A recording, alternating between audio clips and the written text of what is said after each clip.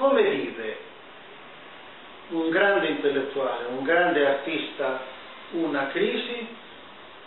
Quindi ho pensato di raccontare lui e raccontando lui dimostrare le dimensioni, la qualità di questa crisi e come si possa reagire, uscire dalla crisi stessa. Facendo in questo modo, cioè prendendo Pasolini come protagonista dell'opera, ho fatto ciò che faccio spesso, eh, al modo dei grandi tragici greci, Eschilo, Sofocle ed Euripide, i quali partivano eh, per raccontare la visione del mondo che li possedeva, per raccontare eh, le soluzioni intellettuali e artistiche de, dei problemi del loro tempo, partivano sempre da qualcosa di conosciuto, di condiviso dai probabili spettatori delle loro opere. Quando mettono in scena le vicende di Erico o di Agamennone o di, o di Ecuba o di Aiace mettono in scena delle storie che sono conosciute dagli spettatori. Gli spettatori sanno chi è Edipo, Aiace o altri. E allora si parte da una base di comune conoscenza e condivisione e su questa base il tragico opera una serie di pensamenti, di ripensamenti, di ricostruzioni, di invenzioni. Quindi, quindi, quindi si opera criticamente sulla realtà, ma su una realtà condivisa, comune, su un'esperienza intellettuale condivisa dall'autore e dagli spettatori. Ecco perché Angelus Novus, questo film, racconta Pasolini. Pasolini è non soltanto un artista e un intellettuale, è anche una figura a suo modo mitica. Molti lo conoscono, credono di conoscerlo.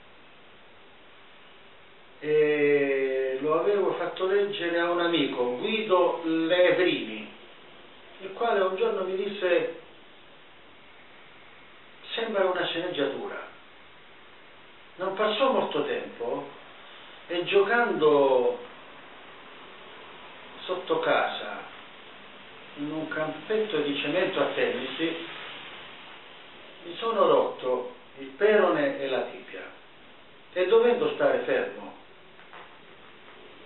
immobilizzato per un mese e mezzo e sapendo che quando sono costretto a stare fermo mi innervosisco, ho scritto questo film, ho scritto la sceneggiatura di questo film, l'ho presentato avventurosamente al Ministero, è passato e l'ho realizzato.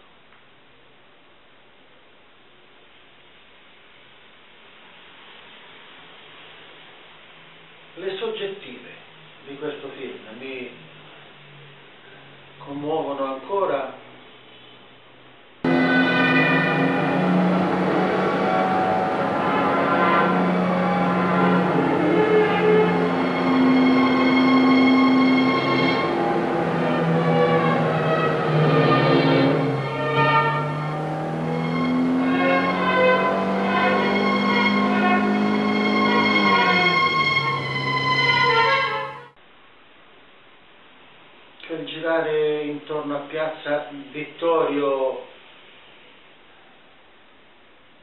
solo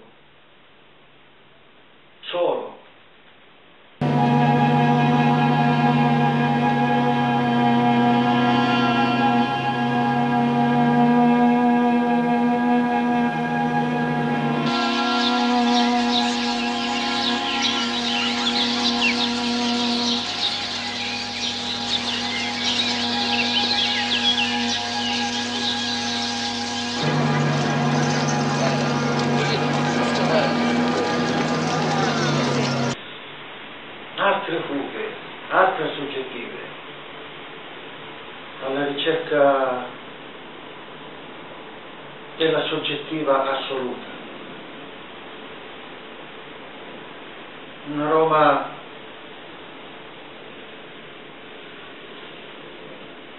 tutta esteriore, tutta interiore e, e poi anzi prima la fuga preferita da Estimius, il guardrail.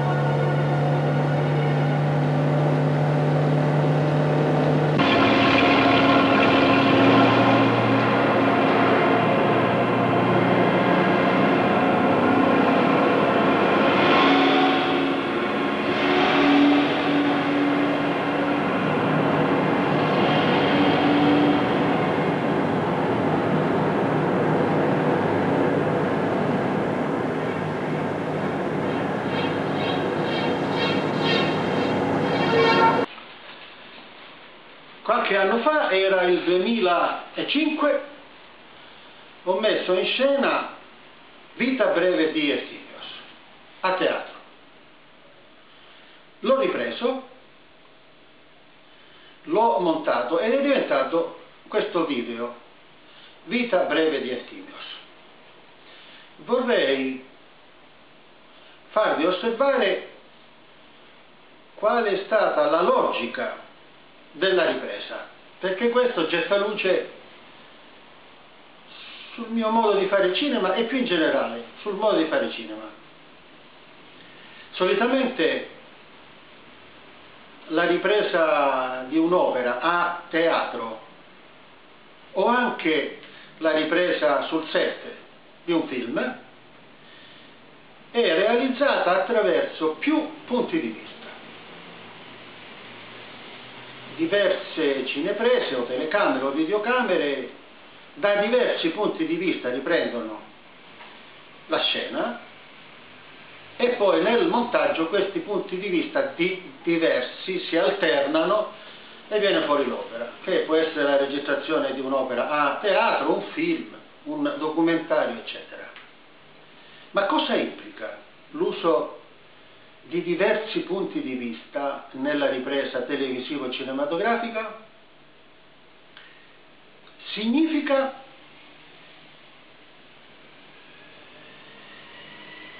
un'arte audiovisiva religiosa un'arte che presuppone e conferma l'esistenza di Dio.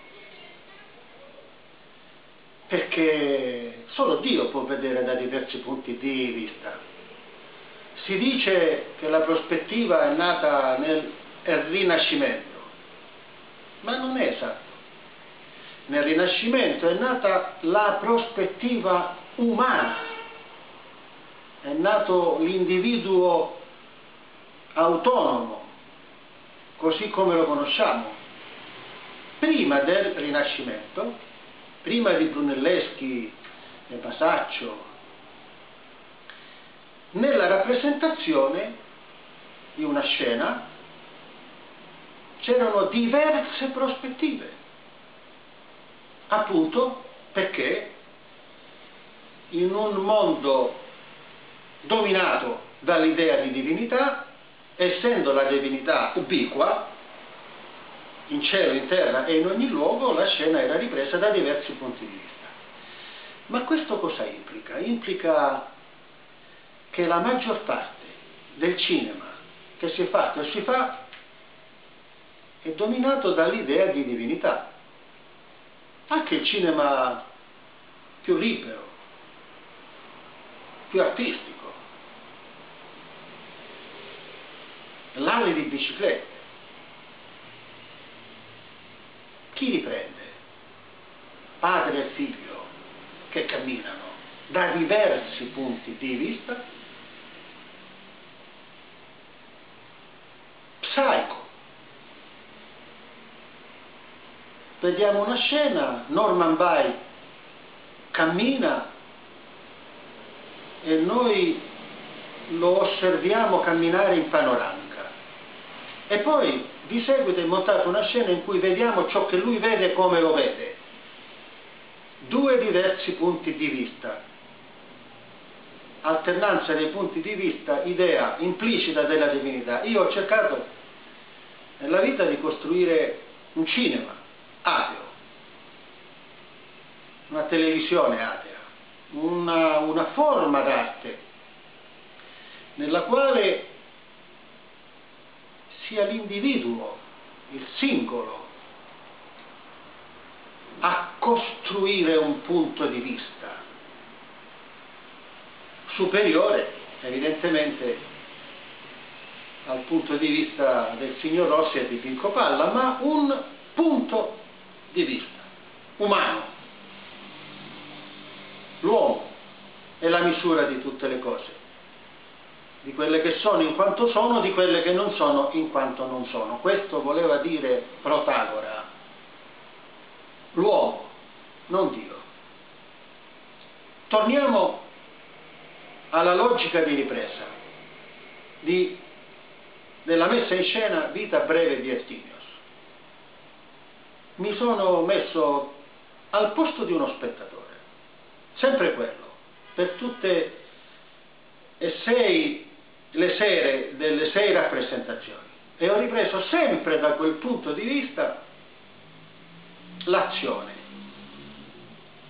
Poi nel montaggio ho alternato campi più larghi, campi più stretti a secondo della drammaturgia, a secondo, ma sempre dal punto di vista dello stesso spettatore, uno spettatore. Perché credo che questo metta lo spettatore del video Vita breve di Eftimios nella condizione di un individuo autonomo, singolo, che vede dal suo punto di vista e valuta, apprezza, giudica. Ecco come dalla logica della ripresa si ricava la concezione artistica di un autore. In questo caso, un autore ateo, senza Dio, ma che non sente questo come una mancanza. No. Semmai sento la mancanza di Eftimios.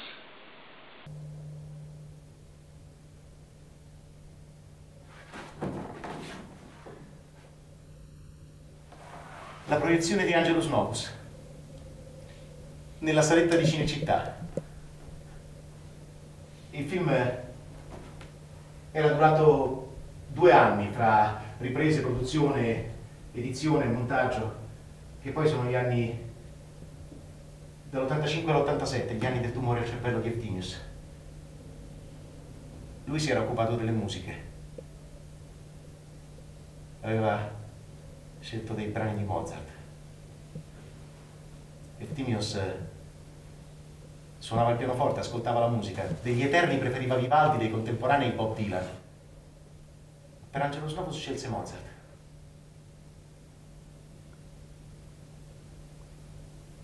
Anch'io ho scelto Mozart per lui. Un registratore messo al punto giusto, una cassetta, un gruppo di amici al cimitero di Bassano Romano, quattro parole. Questa gli sarebbe piaciuta.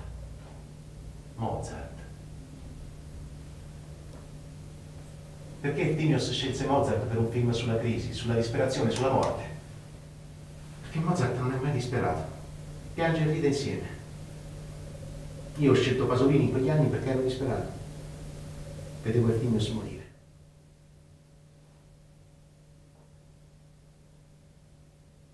La proiezione di Angelus Novus.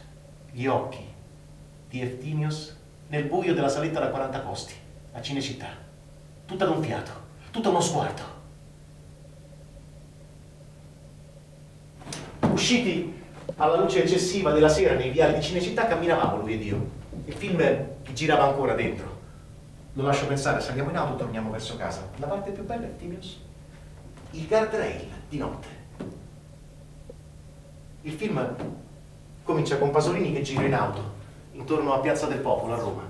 Gira, gira, gira, gira, come una mosca che non sa dove andare a morire. Grigio fuori, grigio dentro. Poi a un certo punto prende via del muro torto.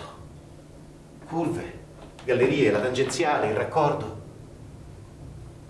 Le luci, insieme alle auto e alle case, diventano sempre più rade. Tutto diventa sempre più nero.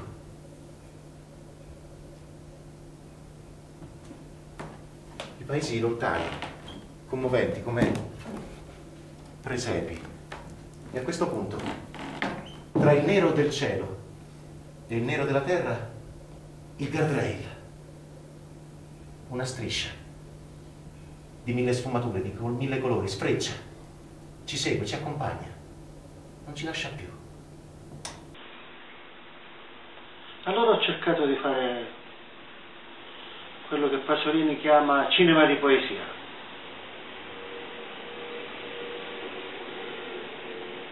Come io vedo il mondo. Una poesia. Il mondo visto attraverso gli occhi, i sogni di, di un individuo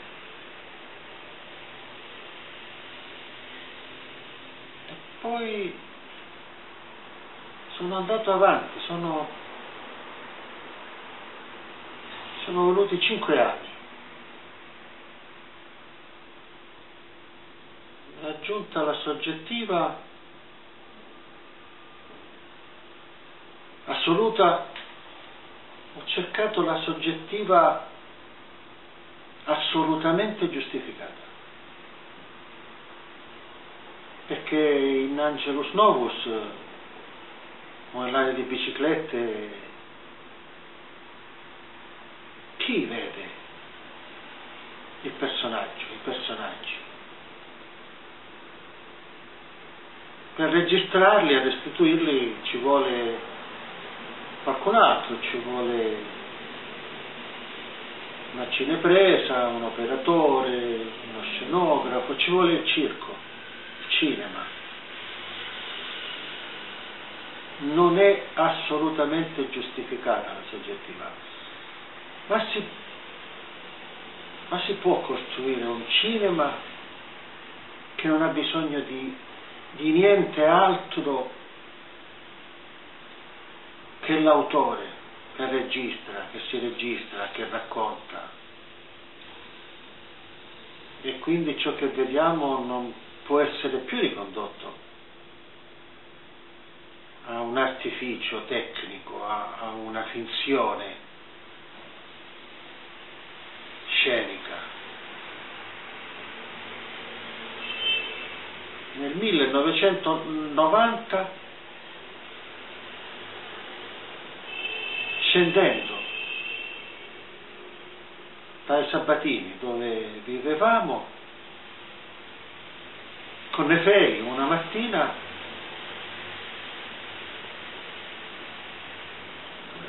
le ho raccontato un desiderio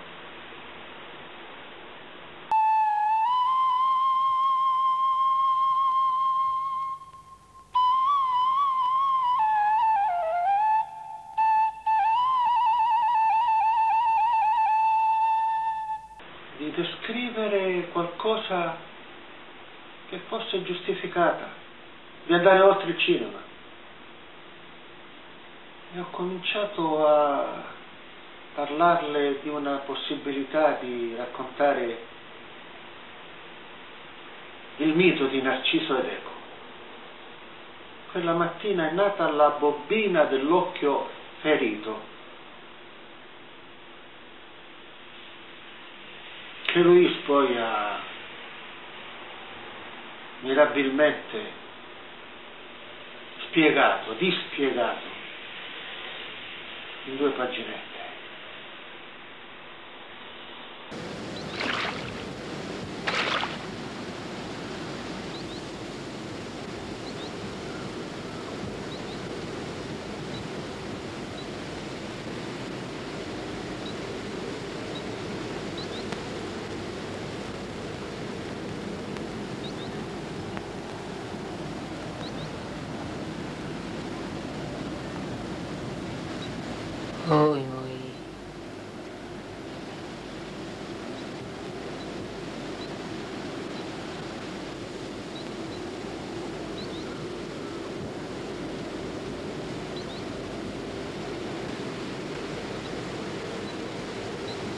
No.